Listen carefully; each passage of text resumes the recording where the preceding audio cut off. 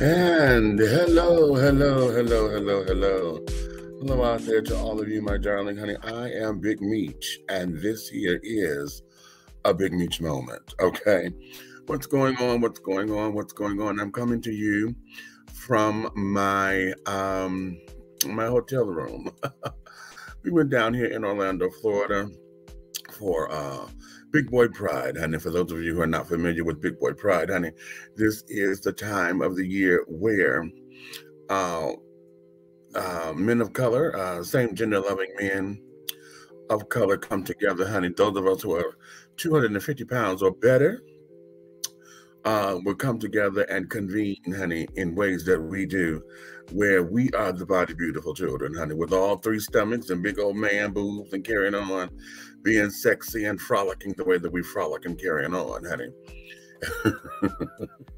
we had a bombastic time, and I'm going to say this out loud, honey. You know, I came down here because I said, okay, this is going to be my last year because you know I'm you know uh, I'm, I'm a man of a certain age and blah blah blah, blah you know all that kind of stuff and the, the, the children are are really you know this is their time however this year we've had so many uh freshmen that entered you know because we, we we do this on the on the school system freshman sophomore uh, junior senior alumni right? Of course i'm alumni.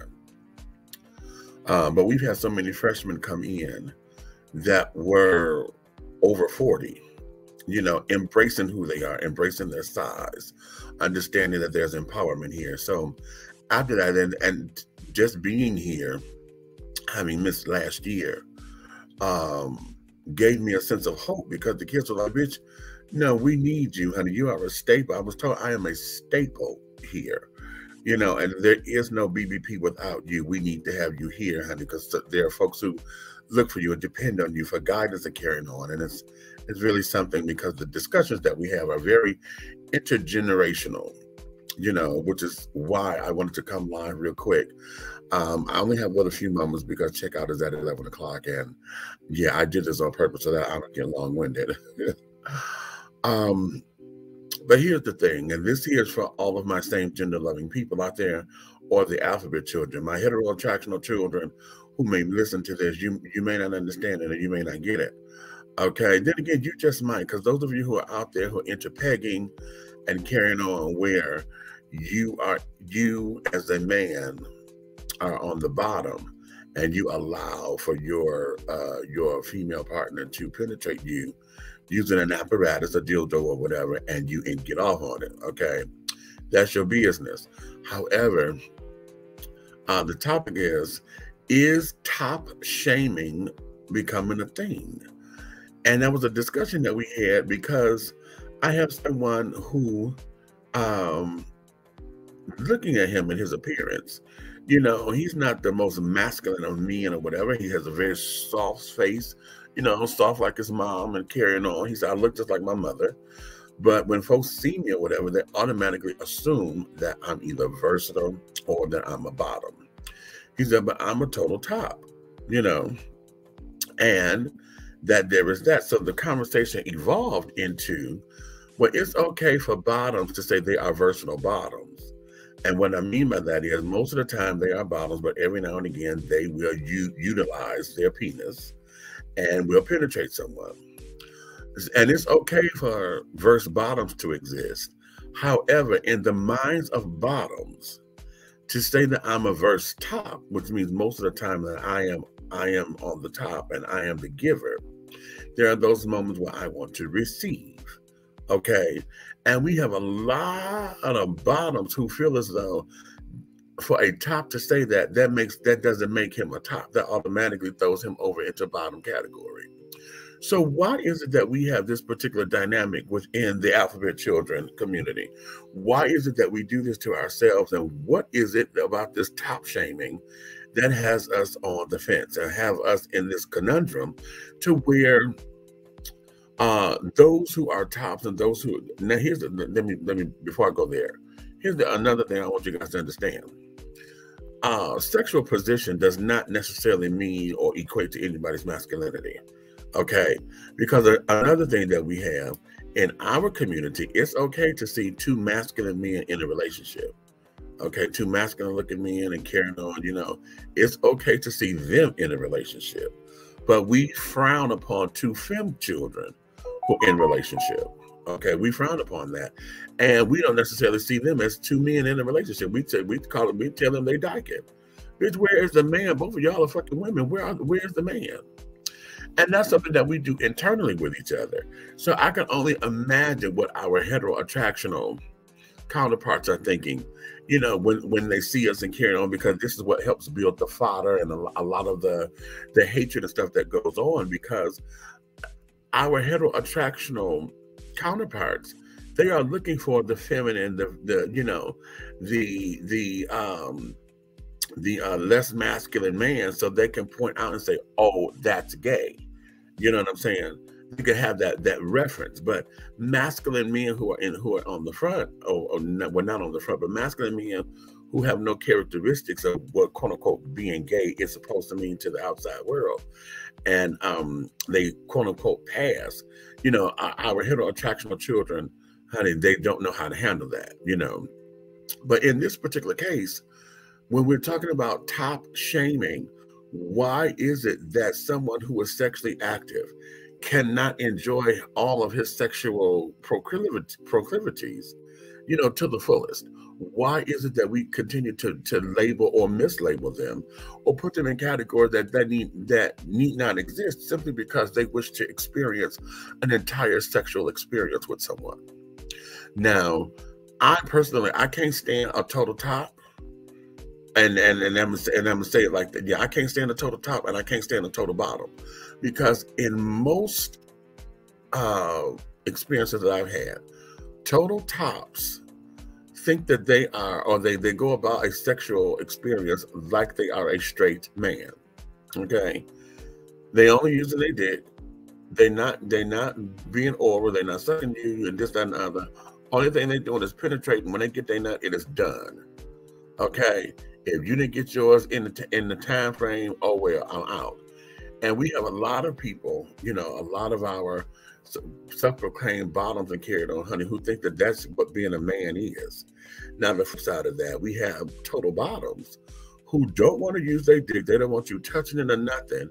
They only want to be on the bottom, honey. Only thing I'm supposed to do is get penetrated and, and this, that, and the other.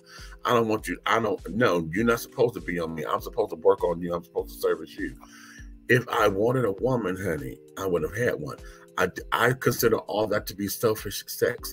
You're in it for what you can get in it, you know, get out of it, and not worried. You're not thinking about your other partner, the, the person that's there with you.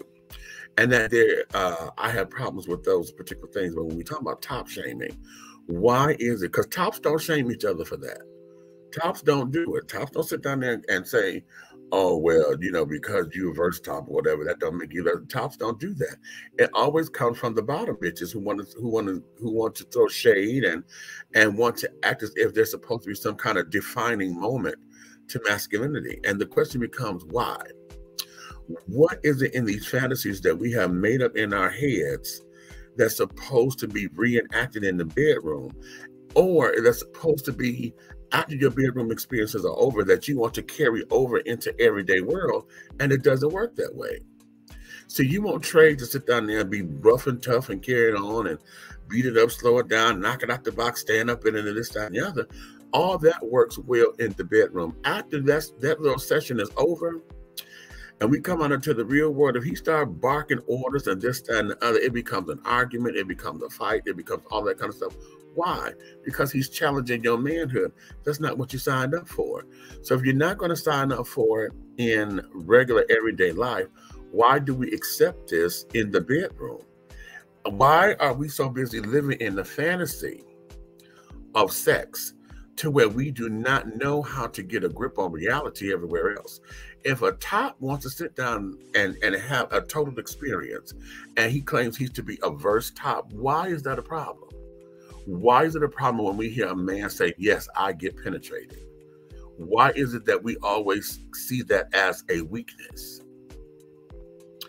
Do we do we equate penetration to be very womanly because we still see women as a weakness? We still see women as the weaker sex. So anytime the thought of a man being penetrated, oh, then he's a sissy. He ain't no man at all.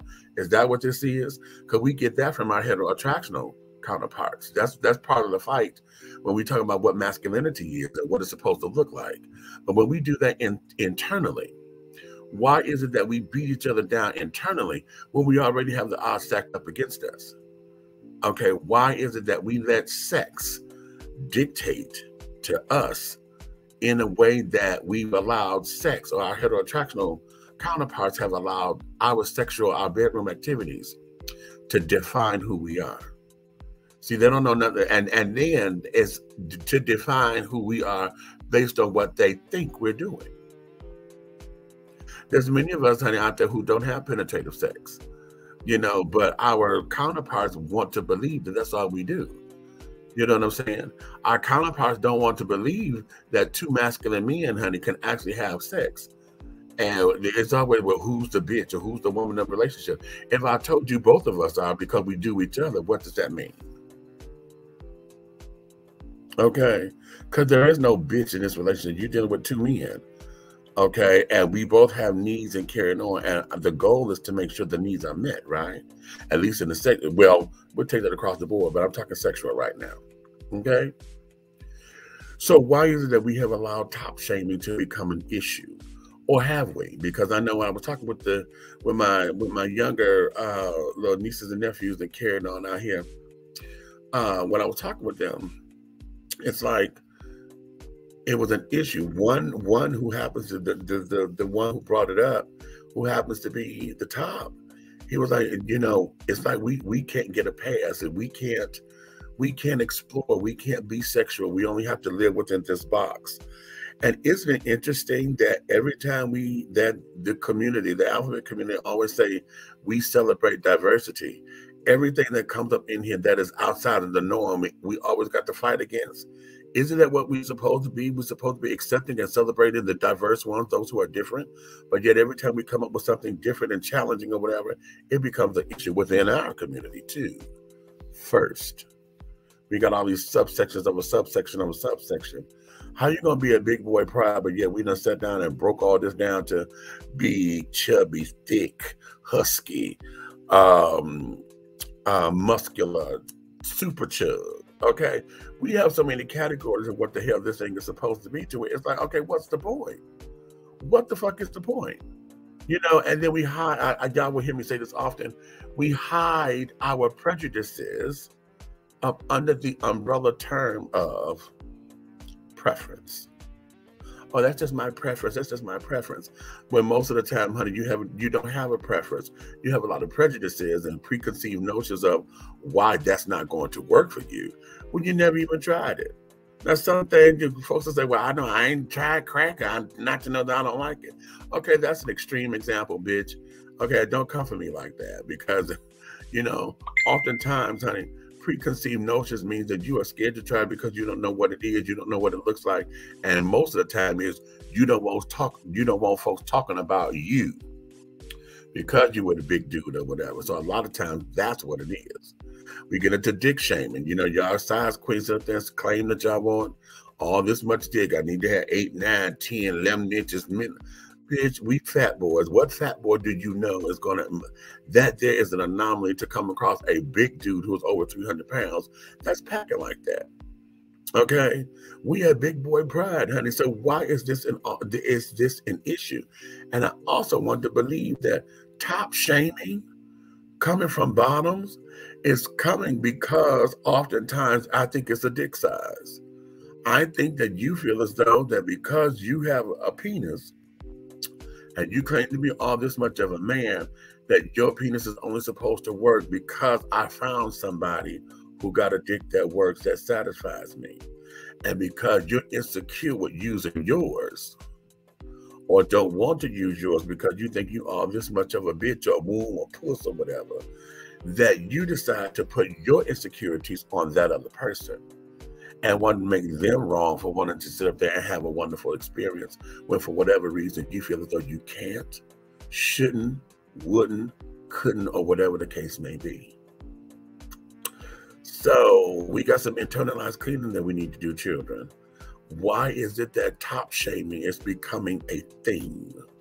How come a top just can't experience having a good time like most folks want to have a good time and have a full overall experience in the bedroom like most folks want to? We keep saying that we want to, we don't want to be like our heteroattractional counterparts. We don't want that heteronormative um, narrative. But yet we refuse to allow ourselves to create our own because we're still following in the paths of heteronormative uh, engagements. So, how are we going to fix that? By allowing ourselves and giving ourselves the permission to create our own. See, we need to have more discussions and stuff like this so we can come out of those fantasies and allow the fantasy to have fantasies are good for a certain place but we have to learn how to let the narrative be that all of this can be real and then when you sit down and really get in tune with yourself so you could understand what you really like and don't like versus fantasizing what it's supposed to be i think we were able to move forward and have a better sexual healthy experience um, i believe it'll be uh, a more gratifying and a more loving and a more participatory experience versus just seeming like you're just tricking and you just in it to get a none and going about your business. You, you know what I'm saying? That there is selfish. It's very, very, very, very selfish. So on that note, my darlings, let me get myself together. I have a plane to catch to get back to the ATL because we got to go to the donut factory when I get there. I've had a good time here. Um, if you've never heard of Big Boy Pride, I'm going to encourage you to go to the website www.bigboypride.com. www.bigboypride.com. Uh, let's make that happen, and um, we we will talk with you guys soon. Okay. So listen, I'm Big Meach. And this here is a big meach moment. If you got questions, comments, or concerns, put your comments down wherever you're seeing this and let's talk about it, honey. We could dish this tea. You hear me? I'll talk with you again soon. We love you to pieces and all your parts. That there is Reverend Kevin Taylor, my big brother. That's his saying. I'm, Kevin, I took that because I love it. All right. Ciao.